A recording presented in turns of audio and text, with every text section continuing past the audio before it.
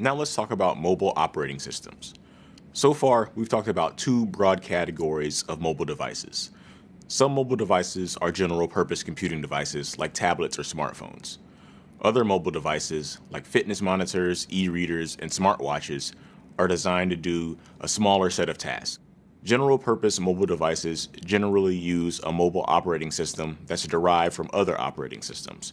For example, Android is derived from Linux, and iOS shares a lot of core components with macOS. So, how are mobile operating systems different from the OSs that they're based on? Mobile devices run on batteries that have to be recharged or replaced on a regular basis, and you want the device to last as long as possible between charges. So, mobile operating systems are optimized to use as little power as possible, for example, by removing OS features and applications that the mobile device doesn't need.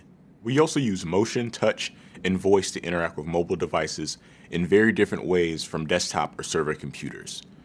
This requires adding device drivers and support to the mobile operating system. More specialized mobile devices like fitness trackers, e readers, and GPS devices often use custom OSs that are optimized for what the device is designed to do. These devices are even more slimmed down to run on very minimal hardware with very minimal battery power. They might also be built using specialized chips and peripherals, which more general purpose operating systems don't know how to run.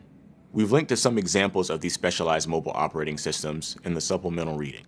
There's a bunch more to learn about working with mobile operating systems, and we'll dive into that in another course.